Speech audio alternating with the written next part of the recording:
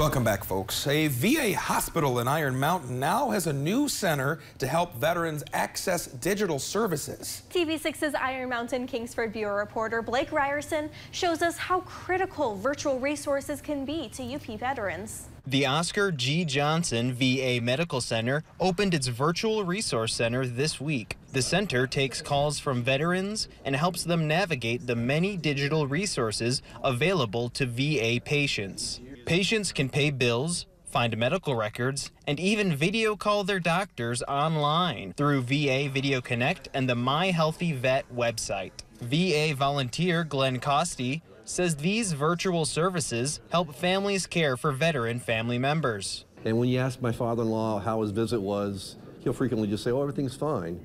And we learned through the medical record that we could get uh, access to remotely that there were some things he was supposed to be working on. Oscar G. Johnson Medical Center telehealth RN Katie Chartier says veterans should never feel embarrassed about calling the resource center for assistance. Veterans come from what 18 to over 100.